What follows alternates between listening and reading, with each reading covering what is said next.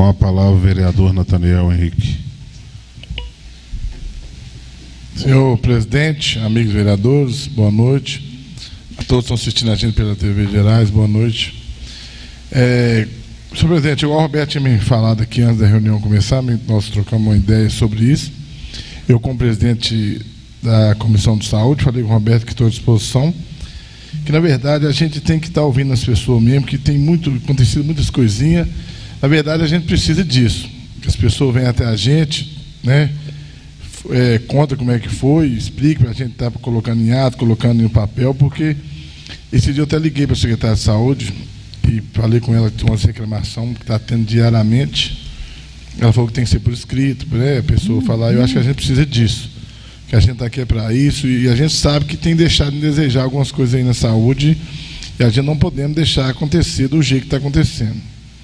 Eu quero sentar com essa família aí, o Roberto está falando, para a gente né, chamar o Ligeirinho, o Lúcio, que é da comissão também, para a gente estar tá tentando né, fazer alguma coisa e ver o que aconteceu e apurar o fato que, é que foi acontecido, porque infelizmente tem acontecido, tem recebido vários áudios aqui de reclamação de PSF, reclamação de, de por saúde. Então a gente tem que tentar ajudar e tentar apurar. Eu acho que a gente tem que fazer isso mesmo e, e principalmente esse caso aí, pelo jeito que o Roberto me contou, que eu achei impossível uma coisa dessa. Então, falar para o Roberto aqui também que eu estou à disposição, pode ser o dia que quiser, né? Acho que nós vamos combinar com o Lúcio e o Ligeirinho, a gente marca e ouvir essa família, para ver a verdade o que foi acontecido.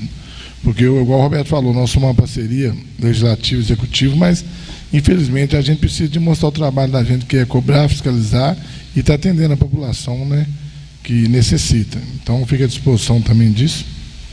E vamos conversar agora, depois da reunião, com o Gerinho mais o Lúcio, para a gente estar tá sentando o mais rápido possível com essa família e estar tá apurando o que foi acontecido. Também, presidente, quero aqui parabenizar mais uma vez né, nosso prefeito, Haroldo Costa Melo, nosso secretário de obra, Robertinho, pela essa limpeza de mutirão que está acontecendo em todos os bairros, Santa Catarina foi agora, agora industrial. Acho que é uma coisa que a gente tem que parabenizar, que é pouca cidade que tem isso.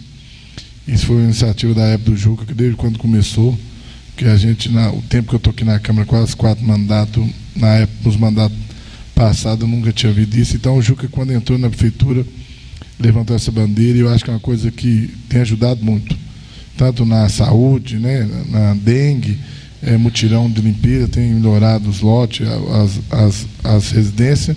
Então, quero parabenizar aqui o secretário de obra pelo trabalho.